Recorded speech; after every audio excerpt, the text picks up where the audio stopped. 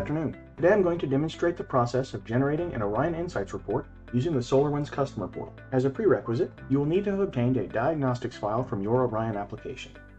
You can obtain this file either through the Orion web portal or by navigating to the desktop of your Orion application server and executing the Orion Diagnostics tool from the start.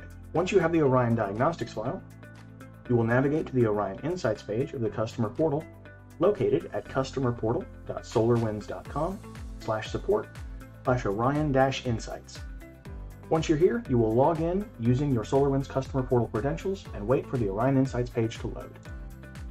Once the page is loaded, scroll down and click the button labeled Request Upload Link. Now click the Upload Now button to bring up the Serv-U file sharing page. Click Browse on the first line and select your diagnostics file. You should now see your diagnostic zip file listed in the text field. Once confirmed, click the Upload button in the bottom right of the window. It may take several minutes for your upload to complete. Once the upload is complete, the Orion Insights report will be generated within 24 hours. You can find it along with any previously generated Insights reports on the Orion Insights page under the Orion Insights report header.